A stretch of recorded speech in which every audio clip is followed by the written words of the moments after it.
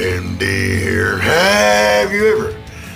Uh, United States of America, with all due respect, I know we're going through a crisis and all that, and, uh, here you go, and here they come, or whatever, you know. I don't mean uh, to be rude or anything like that, but, uh, you see, believe it or not, here in this country, allow a human being to use the restroom, But we're gonna have to pretty much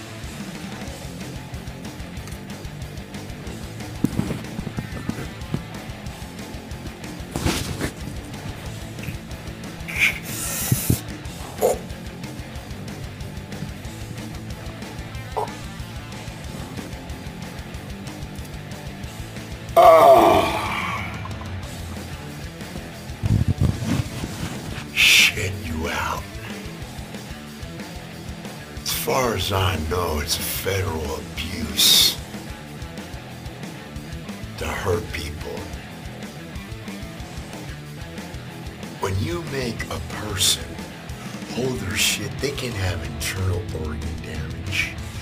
They can they can shit their pants and they they can be wearing five hundred dollar Gucci's or or hundred fifty dollar uh, Ralph Lauren's. Okay? With all due respect. So I got two words for you.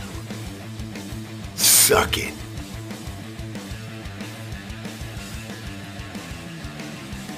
And get out of my country.